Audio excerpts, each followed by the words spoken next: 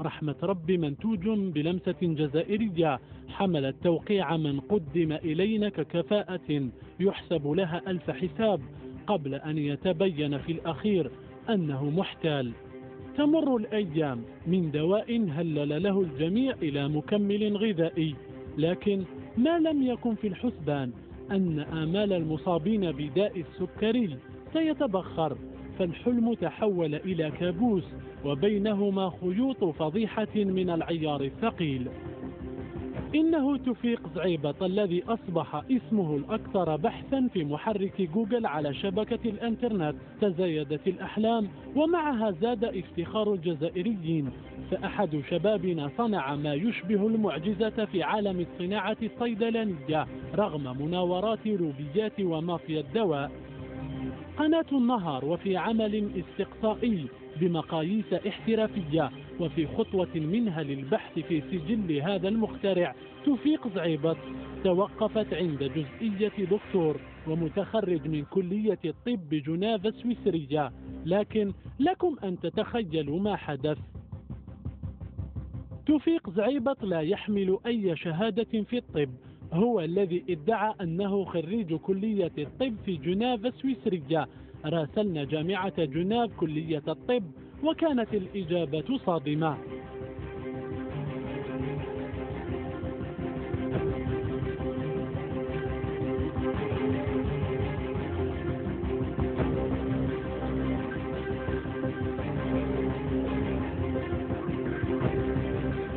لا يوجد في قاعدة بياناتنا الطلابية ولا الباحثين اسما مطابقا لهذا الاسم Service de communication, Céline, bonjour.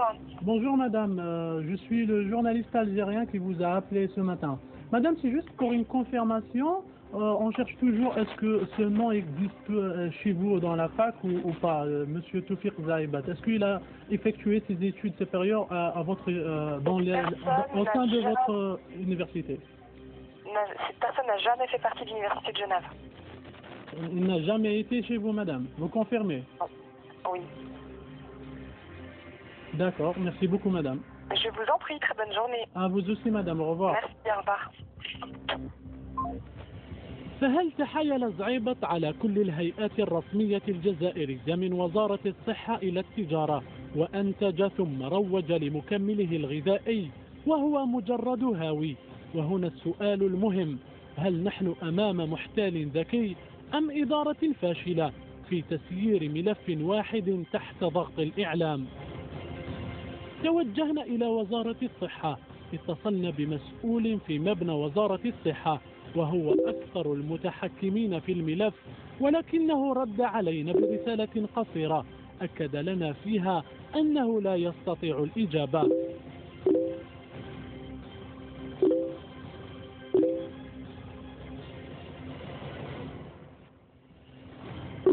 فليتحمل مسؤوليته وهذا شيء خطير جدا. قناة النهار قامت بعملها الاستقصائي من باب كشف الحقيقة لا غير فالكفاءات الجزائرية معترف بها في كل دول العالم لكن الكذب والتدليس غير مقبول خاصة وأن 12% من مرضى السكري في الجزائر تحولوا إلى فئران تجارب الجميع سكت إلا النهار لن تسكت عن قول الحقيقة. نبقى مشاهدين دائما في ذات الملف من جهتها راسلت وزارة الصحة مختلف مديرياتها الولائية حول قضية المكمل الغذائي رحمة ربي أمرت فيها بضرورة سحب المنتوج من الصيدليات وطلبت وزارة الصحة من مديريات الصحة على مستوى 48 ولاية بضرورة اتخاذ كل الإجراءات فورا لضمان السحب الفوري للمكمل الغذائي رحمة ربي RHB من كافة الصيدليات. في سياق ذاته نفى المدير العام الأسبق لمجمع صيدال علي عون أن يكون لتوفيق زعيبة أي علاقة بالمجمع ولم يسبق وأن كان موظفا أو إطار بالمجمع. وكل ما في الأمر أن المجمع منحه فرصة استخدام بعض الأجهزة بعد أن زعم أنه ابتكر دواء وبعد أقل من شهرين تم توقيف العمل معه. بعد أن ثبت أن ما يصنعه لا علاقة له بدواء ولا حتى بالمكملات الغذائية. كان هذا في مكالمة سابقة نستمع. القضية هذه يعني آه، قضية وسبق لي تصرح صرحت بها. عندها عد عدة وصف. الوصف الأول الوصف الأول هو تزوير. الوصف الثاني هو تحيل. والوصف الثالث يعني آه تقريب نقدر نقول خدع الوصف الأول هو تحيل عن القانون.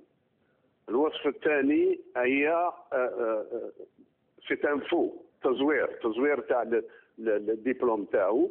والوصف الثالث غش نتاع المواطن وبالاخص المواطن المريض مريض بمرض السكري. اليوم السيد يصرح وأنا يعني شاطر الأستاذ بيطا مع كل ما قدمه اليوم السيد هذا يتكلم ويقول باللي آه، سبق له وعمل في صيدان أنا اليوم نأكد ما عملش كعامل ولا كإطار في صيدال.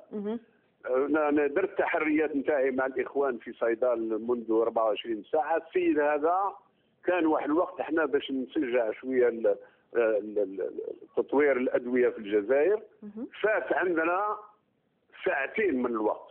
مضى يعني آه، عقد باش نحطوا تحت التصرف نتاعو بعض الآلات باش ولكن ماهوش كإطار مجمع صيدا النهاية باش نختصر في نعم. صناعة يمكن التعامل مع مجمع صيدان مع المصنع مع المخبر البحث والتنمية والدكتور شافوا يعني أكد الشيء هذا. واحد شهر ولا شهرين ومن بعد الخلاصة قال هذا الشيء اللي راك دير فيه ما هو دواء ما هو حتى ما عندوش حتى وصفة يعني مكمل غذائي.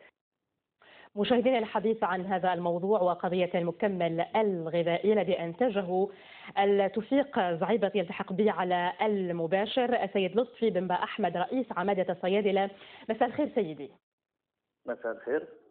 بداية سيد لطفي بن أحمد أنتم في بادئ الأمر رفضتم رفضا قاطعا تسويق المكمل الغذائي. رحمة ربي بي لماذا؟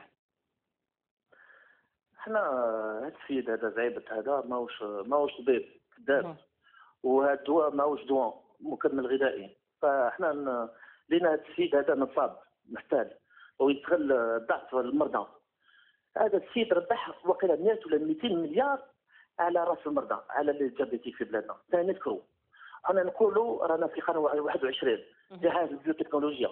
وفي الدواء يعني سور لي ميديكامون ايشو لا بيوتكنولوجي وهذا السيد هذا يجي وهذا راجع في في الضعف les chaînes de télévision و les les nouveaux médias هذا السيد استغل استغل هذه الفرصه هذه اللي اعطتهم بعض القناه تاع التلفزيون وباش يدير باش يستغل ضعف المرضى طيب سيد بن با احمد هل تعتقد قانون أساسي طيب بن با احمد يعني عذرا عن المقاطعة هل تعتقد بأنه آه، ما بات يعرف بالبروباغندا الإعلامية التي روجت لهذا المنتوج واخذ آه، مصداقية أكثر فأكثر على الصحة الوطنية.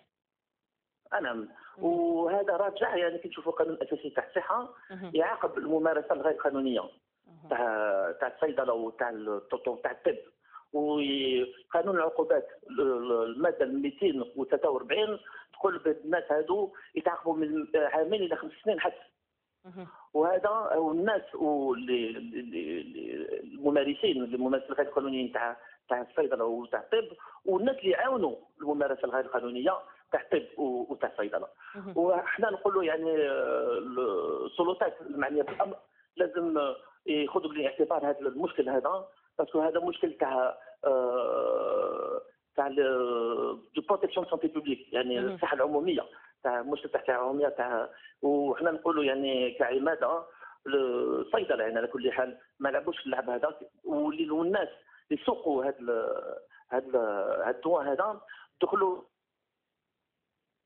تفضل سيد لطفي بن أحمد. نحن في الاستماع. يبدو أن المقاطعة أو المكالمة الهاتفية انقطعت مع السيد بنبأ أحمد رئيس عمادة الصيادلة كان حدثنا عن هذا الموضوع. جزيل الشكر على كل ما قدمته من توضيحات حول المكمل الغذائي. رحمة ربي. مشاهدينا نمر الآن إلى ملفنا الأول للنقاش والمتعلق بالذكرى التاسعة والعشرين. تحتفل بها حركة المقاومة الإسلامية حماس اليوم الأربعاء بمرور 29 عاما على تأسيس